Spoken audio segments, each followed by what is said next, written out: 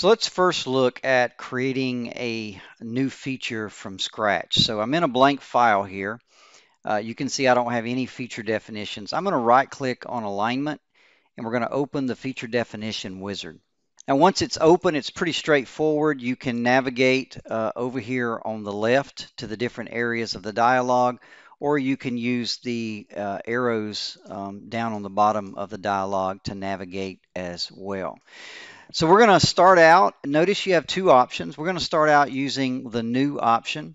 Uh, we're going to create a feature type alignment. I'm going to give it a name. I'm just going to call it uh, my, um, my feature. We're going to specify where we want this to go. And so I'm going to put it under alignment road. Uh, under linear, uh, again, I can create a, I can use an existing linear feature symbology or I can create a new one. So I'm going to create one called My Linear Symbology. And then we have different options what we want to do for the for the templates. Now in this case here, I'm going to create a new uh, template. Um, I'm just going to call it my template. Uh, specify where I want that to go. So I'm going to put it under linear alignment road and I can specify level colors and weights. In this case, I'm just going to specify a couple of things. We could do the same thing with annotation groups, uh, profile intersection templates. We can specify existing, new, or uh, transient. Now, uh, here we've done a new one. Now let's go to profile feature symbology, and I'm going to uh, create something, a new one. I'll call it my profile symbology. And what I'm going to select here is transient. Now, what transient is, is it actually remembers the um, template that I created earlier and it keeps it in memory. So that's what it means by transient. So it, I'm going to say, okay, I want you to use that one that I created earlier in the um, dialog. Finally, feature definition properties. Uh, I could put in a, a description, I could um, assign a, a template to this if I wanted to. For example, I could come down into um, templates, uh, rural, pick which one I want, say OK, uh, do any item types, and then I can say uh, finish. Now let's take a look at what we have. Uh, you can see under, I've created the new feature called My Feature. Um, if I drill down into my feature symbologies, you can see here under linear, I created my linear symbology. Under profile, I created my profile symbology. Um, finally, if I come up here under element templates, you can see that uh, it automatically created this element template for me with the right information. Finally, if we want to see how all this is linked together, we can go to the properties. You can say it, see that it's pointing to the proper template, the proper linear and profile feature symbology. Now let's go look at another example. Let's just open up a, a, a new file. And once again, you can see I don't have any features in this file, but I'm going to do this one a little bit different. Here, I'm going to go to our one of our existing DGN libraries.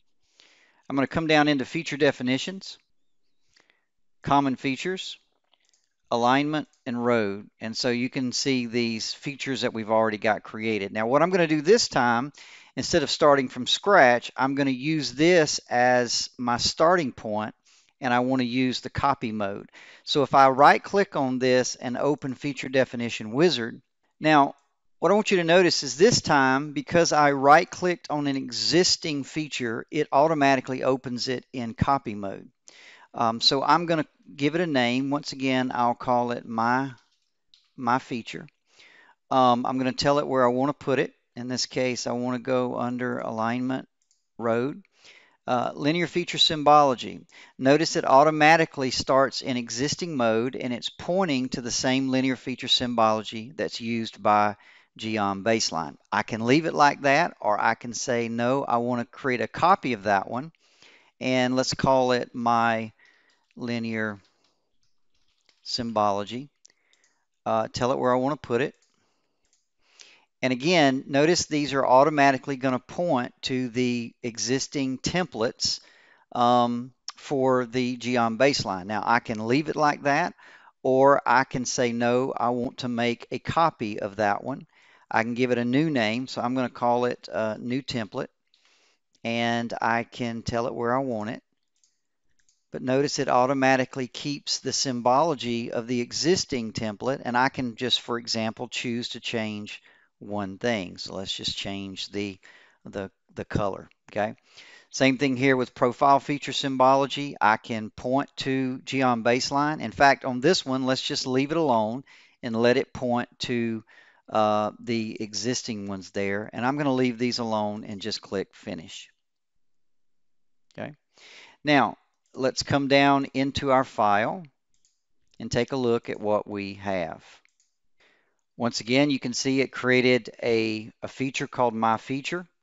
If I come down and look under feature symbologies, remember I asked it to create a new linear symbology, but notice under profile, it just used the existing Geom baseline, which is what I ask it to do. If I come up under templates and go to manage, and look under linear alignment road, and you see that it's created me a new template. And finally, if I want to see how it sets up all my relationships, I can just go to properties uh, you can see I didn't set a corridor template. My linear feature is being set properly as well as my profile feature as well.